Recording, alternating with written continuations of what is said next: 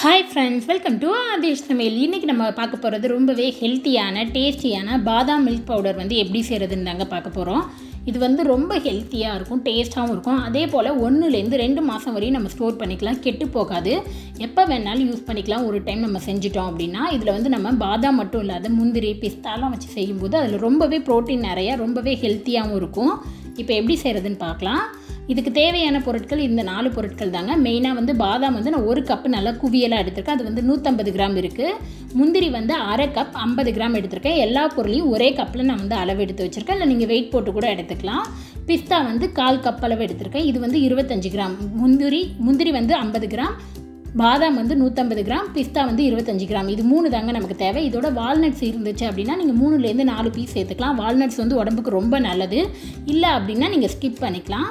இதோட ஏலக்காய் வந்து ஃப்ளேவருக்கு ஒரு அஞ்சு ஏலக்காய் கலருக்கு கொஞ்சம் மஞ்சள் தூள் அப்புறம் வந்து கொஞ்சம் குங்குமப்பூ எடுத்துருக்கேன். குங்குமப்பூ வந்து ஆப்ஷனல் தான். இருந்தால் நீங்கள் வந்து சேர்த்துக்கலாம். அப்போ ஃப்ளேவரும் நல்லாயிருக்கும் கலரும் வந்து நல்லாயிருக்கும் நமக்கு. இப்போ நம்ம பாதாமை வேக வச்சு தோலை தனியாக எடுக்க போகிறோம் நீங்கள் தோலை எடுக்கல அப்படின்னா நீங்கள் அப்படியே வந்து லைட்டாக ரோஸ்ட் பண்ணிவிட்டு நீங்கள் பவுடராக அரைச்சிக்கலாம். நான் வந்து ஸ்கின்னை ரிமூவ் பண்ணிவிட்டு அதுக்கப்புறம் வந்து வறுத்து அரைக்க போகிறேன் இப்போ பாதாமை வந்து நம்ம ஊற போடுறதுக்கு தண்ணி வந்து பாயில் பண்ணி வச்சுருக்கேன். இப்போ அதை பார்க்கலாம். தண்ணி வந்து இங்கே நல்ல தலைப்புலன்னு கொதிக்குது. தண்ணி வந்து இந்த அளவுக்கு நல்லா கொதிக்கணும். அந்த ஸ்டேஜில் நம்ம எடுத்து வச்சிருந்தா நூற்றம்பது கிராம் பாதாமை சேர்த்துட்டு உடனே அடுப்பை ஆஃப் பண்ணிவிடுங்க அந்த சூட்டுலேயே ஒரு அஞ்சு நிமிஷத்துக்குள்ளே ஸ்கின் வந்து நல்லா ஊறி போயிருக்கும். நீங்கள் கொதிக்க வச்சிங்க அப்படின்னா பாதாம் வந்து வெந்துடும் அப்போ நமக்கு டேஸ்ட் வந்து ரொம்பவே நல்லா இருக்குது. சீக்கிரம் கெட்டுடும். இப்போ இது ஒரு அஞ்சு நிமிஷம் நல்லா ஊறட்டும். நம்ம அதுக்கப்புறம் ஸ்கின்னை வந்து ரிமூவ் பண்ணி எடுத்துக்கலாம். இப்போ எங்கள் அஞ்சு நிமிஷம் கிட்ட நல்லா ஊறிடுச்சு. நான் உங்களுக்கு எடுத்து காட்டுற பாருங்கள் ஸ்கின் வந்து அந்த தோல் வந்து நல்லா சுருங்கி சுருங்கி இருக்கும். அந்த மாதிரி இருக்கணும். அப்போ நமக்கு ஈஸியாக வந்து பீல் பண்ணுறதுக்கு நல்லா வரும். இப்போ நான் ஒன்று கையில் எடுத்து உங்களுக்கு பீல் பண்ணி காட்டுற பாருங்கள் லைட்டாக ஒன்று கையில் எடுத்து லைட்டாக நம்ம ப்ரெஸ் பண்ணாலே போதும். ஈஸியாக நமக்கு நல்லா பீல் ஆகி வந்துடும் அந்த ஸ்கின்னு இதே போல் எல்லா ஸ்கின்னையும் வந்து நம்ம பீல் பண்ணி எடுத்துக்கலாம்.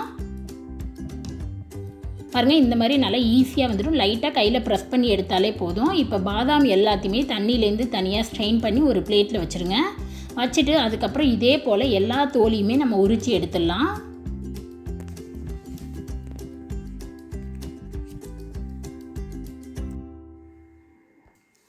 இப்போ பாருங்கள் எல்லா தோலையும் உரித்து எடுத்தாச்சு. இந்த மாதிரி நல்லா உரித்து எடுத்து வச்சுருக்கதை இப்போ வந்து நம்ம காய வைக்க போகிறோம் ஒரு நல்ல காட்டன் டவலில் போட்டுட்டு ஃபேனுக்கு கீழே ஒரு ஆஃப் அன் ஹவர்லேருந்து ஒன் ஹவர் கிட்ட காய வச்சுருங்க.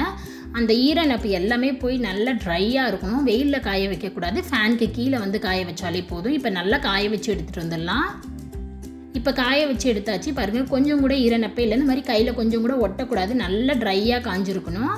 இப்போ இதை வந்து நம்ம வறுக்க போகிறோம் வறுக்காமல் அப்படியே பவுடராக அரைச்சா நமக்கு சீக்கிரம் கெட்டுடும். அதனால் லைட்டாக நம்ம ரோஸ்ட் பண்ண போகிறோம் ஒரு கடாயை நல்லா மீடியமாக ஹீட் பண்ணி வச்சுருக்கேன். அதில் நம்ம எடுத்து வச்சிருந்த பாதாமை சேர்த்துட்டு அடுப்பை நல்ல மீடியம் ஃப்ளேமில் வச்சுட்டு நல்லா ரோஸ்ட் பண்ணிக்கோங்க.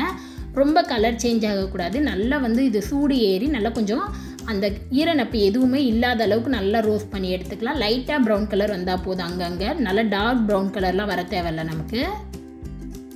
இப்போ பாருங்கள் நல்லா ரோஸ்ட் பண்ணியாச்சு. அந்த ஈரநப்பு போயிடுச்சு. உங்களுக்கு பார்த்தாலே தெரியும் முன்னாடி உள்ளதுக்கும் இப்போ உள்ளதுக்கும் பாதாம் கலருமே நல்லா சேஞ்ச் ஆகிருக்கும் அங்கங்கே இந்த மாதிரி லைட்டாக வறுபட்டிருந்தா போதும். ரொம்ப வறுக்க தேவையில்ல. இப்போ இதை வேறு ஒரு பிளேட்டில் மாற்றிடலாம் அதே கடாயில் நம்ம எடுத்து வச்சுருந்தா ஐம்பது கிராம் அளவு கேஷ்யூ சேர்த்துக்கலாம். அதையும் சேர்த்துவிட்டு லைட்டாக ரோஸ்ட் பண்ணிக்கோங்க. நம்ம எல்லா பொருளையும் ரோஸ்ட் பண்ணி சேர்க்க போகிறோம் அப்படி வறுத்து சேர்த்தோம் அப்படின்னா நமக்கு சீக்கிரம் வந்து அந்த பவுடர் கெட்டு போகாது. இப்போ இதையும் நல்லா வறுத்தாச்சு வேறு ஒரு பிளேட்டில் மாற்றிட்டு அதுக்கு அடுத்தது நம்ம எடுத்து வச்சிருந்த பிஸ்தாவையும் சேர்த்து விட்டு நல்லா வறுத்துக்கலாம். எல்லாத்தையுமே ரொம்ப வறுக்க தேவையில்ல. லைட்டாக வறுத்தா போதும். ரொம்ப கலர் சேஞ்ச் ஆகிற அளவுக்கு நீங்கள் வறுக்க தேவையில்ல.